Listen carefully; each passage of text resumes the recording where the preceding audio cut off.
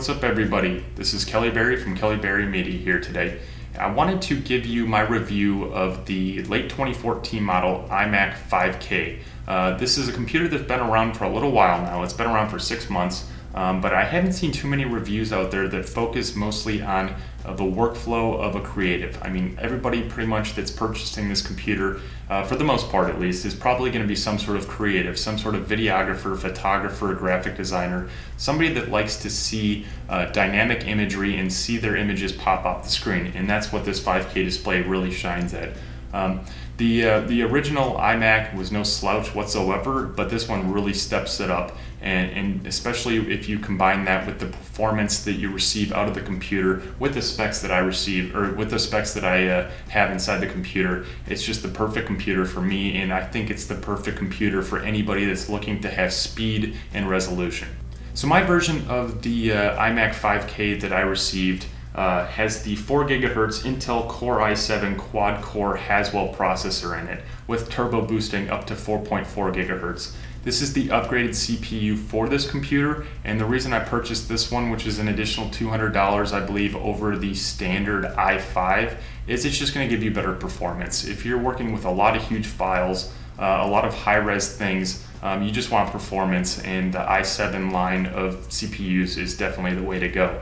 Um, as for the uh, the RAM, I purchased this directly from B&H Photo um, with the 8 gigabytes of DDR3, which I immediately, once I got the computer at home, um, swapped out for 16 gigabytes of DDR3 RAM.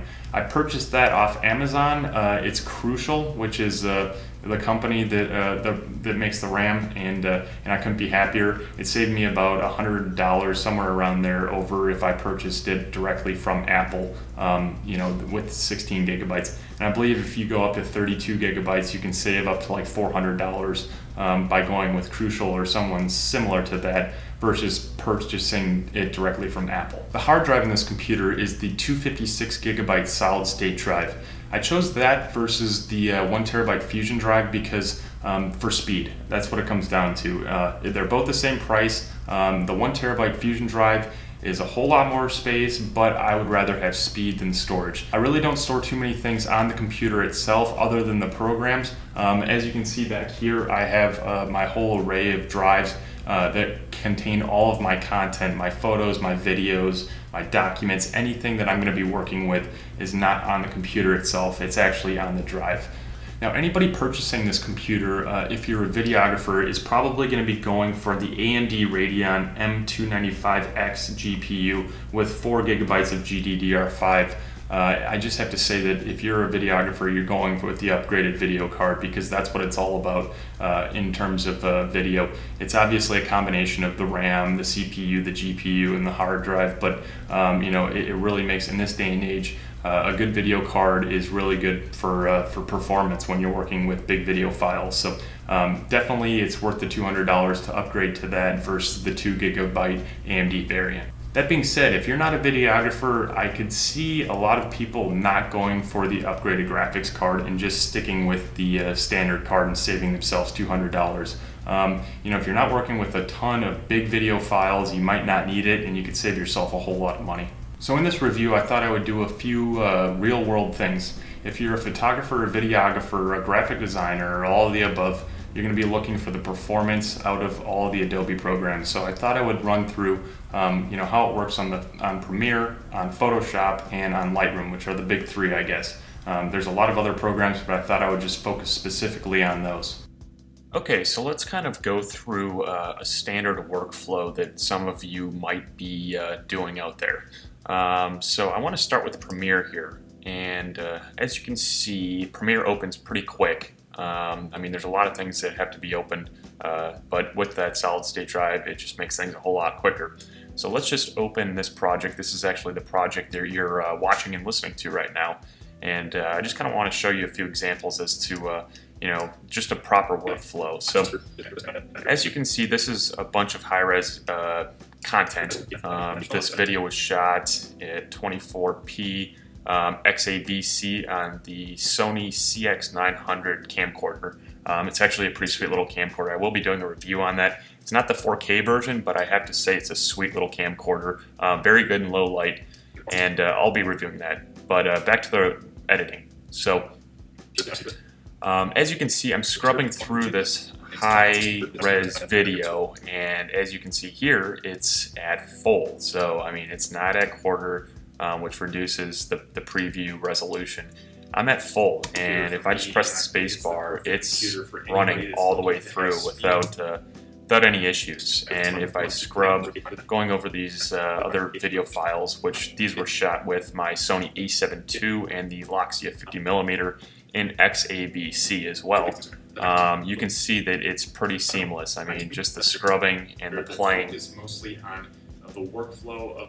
It's all real time. You don't have to wait for anything, and that's what I was looking for when it comes to uh, video editing. Is I don't have to wait. I'm an impatient person when it comes to everything, and if I have to wait to render anything, um, I just go bonkers. And there are still a few things that you will have to wait for to render. Um, there's certain effects that do not have this accelerated effects, um, but the majority of the ones that I use are accelerated.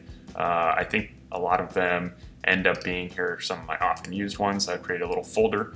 Uh, the brightness and contrast is an accelerated effect, I believe. Um, fast color corrector, sharpen, those kind of things are all accelerated effects. So if I were to put the fast color corrector and the brightness and contrast on there, and I start fiddling with it, I actually had that on there already um, but it just goes a whole lot faster.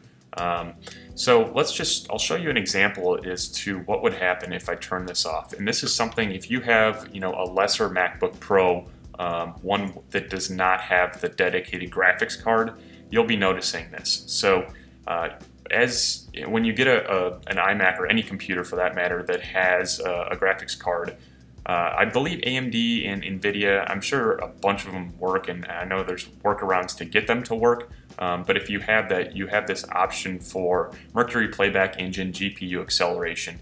And on a Mac, it's OpenCL. If you're using an NVIDIA card, you'll have the CUDA version, but I've found in my MacBook Pro that there's some issues with that, and uh, OpenCL is usually better for your Macs. So if you turn that off, I want to show you exactly what happens. You'll get this uh, notification saying that video rendering and playback settings are going to be changed and um, there's issues, so I'm just going to say keep previews for the time being. But look at my entire timeline. It just went red. Everything in here went red. And why is that, you ask? Well, there's a lot of things. See, I have brightness and contrast, I have sharpen, I have fast color corrector all turned on. These are effects. And uh, when you're using effects within your timeline, the majority of the time you need to render all that stuff if you're not using a uh, graphics card that's dedicated to making that um, work properly. So if I were to press return here to render all that, you'll see there's 7,172 frames that need to be rendered. One by one, it has to go through rendering all of that. And the estimated time, it's about two minutes. This is, again, the uh, Intel i7, 4 gigahertz with turbo boost up to 4.4. Uh, so it's no slouch, but this is pretty much, um, correct me if I'm wrong, coming all straight off the CPU instead of letting that GPU help out and render all of this in real time. So I'm not going to wait for that. This is going to take forever, and that's just to preview it. I mean, that's uh, you have to render it before you export it. So uh, not a big fan of that, and that is a big reason why I purchased this uh, computer with the updated graphics card. It is just built to do this. It's built to go fast and to get your get your work done as quickly as possible. So let's just oh, turn back on the uh, GPU acceleration utilizing the graphics card. Say keep previews and watch that timeline. It went from rendered or unrendered to completely rendered. So I can just play that in real time. if I ever want to, uh, okay, let's say I'm done with this project, go to export media, and uh, you know, pretty much good to go.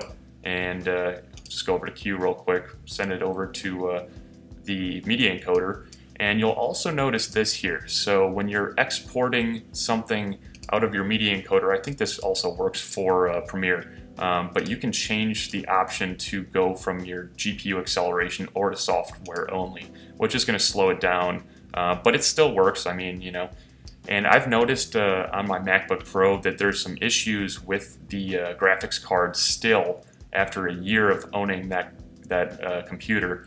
So a lot of the times I'll leave it in software only to render just or to export for just because there's some issues with it and sometimes it's it gets corrupted. So, but for this computer so far, I've had no problems and I've been very happy with uh, the rendering uh, using utilizing the graphics card or the GPU.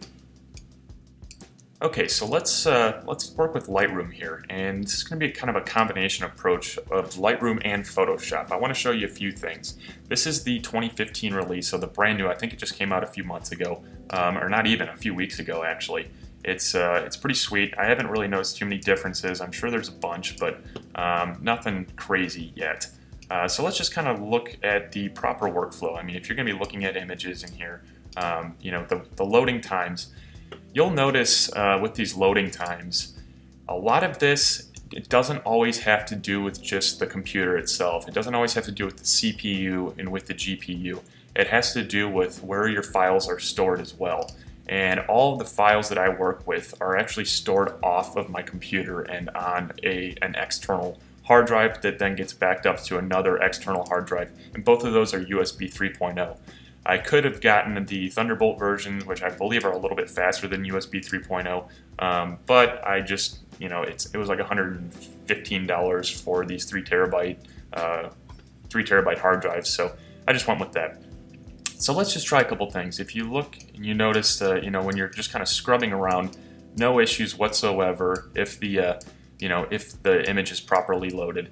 Um, but at the same time, you do notice, see loading and boom, there we go. So uh, it's not a seamless workflow, but at the same time, it's not that long. And you're gonna find that with pretty much any computer, depending on where and you know what kind of hard drive all of your images are stored on. And I just have to say, with this Retina display, you can't see it obviously because uh, you know you're not looking at the screen. Um, but I mean, just the amount of clarity and detail that you receive when you're you're looking at your images, it is just awesome. I mean, I can't say enough of this. And this was shot with the uh, the uh, Sony a7 II with the Zeiss Loxia 50mm at f2.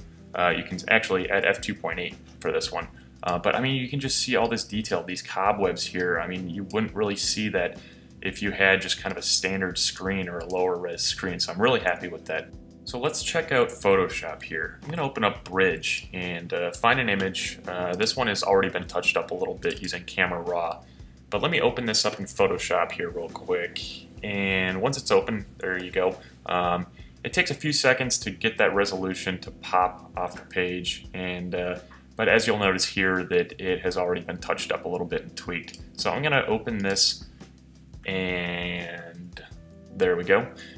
So one of the tests that I've done in the past, and this is something that I always like to try on any computer that I get my hands on uh, that has Photoshop, is Liquify. And this isn't something that I use in my everyday workflow uh, because, I mean, it's, there, there aren't too many times that I actually need it. It's good for fashion photographers and, and editors that like to kind of push in, uh, you know, if somebody's a little bit heavier than they want them to be, you know, to push it in their sides or whatever. So uh, let me just try this here and you'll notice that, you know, everything here is very seamless. This is about a 25 megabyte raw file. Uh, and very, you know, very easy. You can just distort this image and distort the pixels. And in computers that I've worked with in the past, I mean, when you're doing this to a big file, it sits there and stutters and lags. But with this uh, this 20, late 2014 iMac 5K with the i7 and, and the dedicated graphics card, uh, it's very seamless. So this is the big test here. When I click OK, normally sometimes this takes minutes. I mean, you just have to sit there and wait for it if you do something as crazy as distorting these pixels. So let me press the button. And as you just saw, I mean, it went very fast. I mean, it took seriously probably a second to render that image. And I can just go back to the way it was and you know, so this is a, you know, this is a, a crazy example, but this is definitely an example that shows, uh, you know, how quickly you can do various things that are usually pretty graphics intensive. Um, as I scrub around the image here, holding the spacebar, um, no lag whatsoever. I mean, everything's very nice. Zooming in and out is just very quick and efficient. So let me use the healing brush to just do a couple things here. I zoom in and find a couple blemishes. These are just, uh, you know, some some issues from bugs on the car, I believe, something like that. Just some co cosmetic things. Obviously, not very uh, you know huge changes that you're making here, um, but you know it, it just goes to show that just very, uh, you know, it just it gets done really quick, and I'm very happy with that. If you were to do something, you know, this when when you're using this tool on very small things like these kind of issues, um, that's not very graphics intensive. But at the same time, let's say uh, you know you want to remove something that's a lot bigger. Let's just say this, it's not going to look right once I get this all said and done, but just a very big area like that usually will take a long time. And as you can see, it was that quick. Boom. I mean, it was that quick to get that done. So overall, I've had this computer for about a week now, and I have to say that it definitely exceeds my expectations. Um, obviously, this is going to be a, an expensive computer if you're looking at it. I mean, just look at the price. It starts at $24.99. Um, but if you're looking for a computer that, that really has a small footprint, I mean, my, my previous computer, my PC was you know just the tower and then you had the big displays and everything else that goes along with it. This is very compact um, and, and just it's very nice. As you can see on my desk, it's just a, a very nice setup here. So um, it's very nice. The uh, resolution of the display is amazing and the performance I receive out of it is, is definitely top notch.